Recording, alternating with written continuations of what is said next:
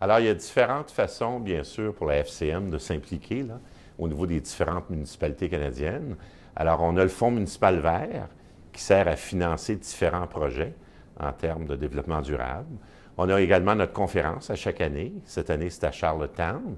Et enfin, on, on donne des prix pour les municipalités là, au niveau du développement durable. La chose euh, intéressante cette année, c'est que nos lauréats et lauréates euh, ont réussi, là, euh, pour, c'est pour ça qu'on leur a désigné un prix ou qu'on va leur désigner un prix, d'avoir une belle collaboration avec les partenaires de façon générale, avec d'autres municipalités, alors pour aller chercher un point commun. Là, alors c'est ce qui a donné la force cette année aux récipiendaires. C'est toute la collaboration qu'ils sont allés chercher pour atteindre euh, les objectifs. Bien sûr, on parle toujours de développement durable. Alors, ce qui est euh, extraordinaire cette année, c'est de voir les municipalités qui ont gagné. C'est une inspiration extrêmement importante de voir tout ce qu'ils ont pu aller chercher.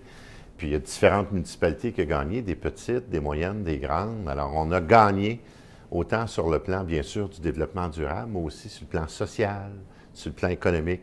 Alors, c'est très inspirant pour les prochaines années en matière de développement durable.